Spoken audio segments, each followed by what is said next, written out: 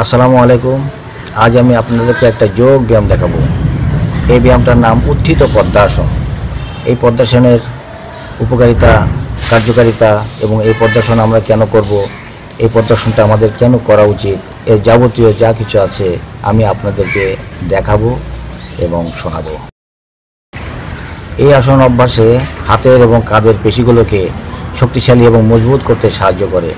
এছাড়া এই আসন অভ্যাসে পেটের পেশিগুলোকে মজবুত করতে এবং শক্তিশালী এবং কর্মক্ষম করতে সাহায্য করে এবং পেটের যত রকম যাবতীয় সমস্যা আছে, যেমন বদহজম, গ্যাস গ্যাস, এই সমস্তগুলোকে সম্পূর্ণরূপে নির্মূল করতে সাহায্য করে। এছাড়া এই আসন অভ্যাস করলে হাঁটুতে বাত বা বাতজনিত কোনো রকম ব্যথা বেদনা আশ্রয় করতে পারে না।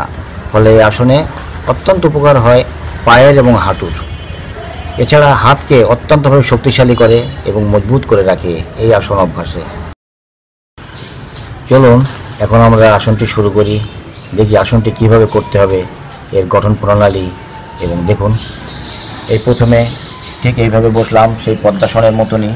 পদ্মাসনের একটা অংশ, এই যে পাটা ঠিক, এই যে দেখুন, পাটা এইভাবে রাখলাম, এই পাটা ঠিক এইভাবে রাখলাম। দুপাশে হাতটা রাখলাম। বেশ, বডিটাকে উঁচু করে দিলাম এইভাবে।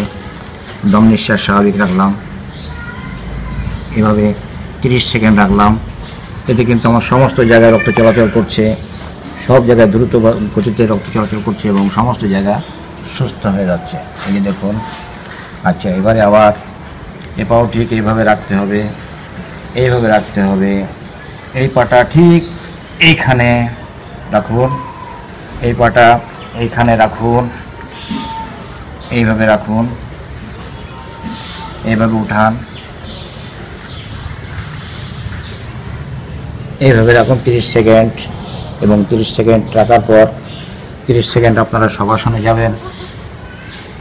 আবার তিরিশ সেকেন্ড এভাবে আসনটি করবেন। আবার তিরিশ সেকেন্ড আপনারা সবাসনে যাবেন। এইভাবে চার থেকে পাঁচবার করার পর আসনটা শেষ হবে। অবশ্যই সবাসনটা আপনাদের দিতে হবে। সবাসন দেওয়ার ফলে অনেক উপকার। সবাসনে রক্তটা আবার আগের মতন স্বাভাবিক পর্যায়ে এসে যাবে এবং একটা সত্যিকারই পূর্ণ পূর্ণ একটা ব্যায়াম হবে এবং এই ব্যায়ামে আমাদের অনেক উপকার। তা আমি আপনাদেরকে সবই জানিয়েছি, বলেছি, অত্যন্ত একটা উপকারী ব্যায়াম। আর অবশ্যই আমার চ্যানেলে দেওয়া আছে সবাসনটা কীভাবে করতে হবে এটা আপনারা একবার দেখে নেবেন। এবং আমার চ্যানেলটিকে আপনারা অবশ্যই সাবস্ক্রাইব করবেন আমি আশা রাখি।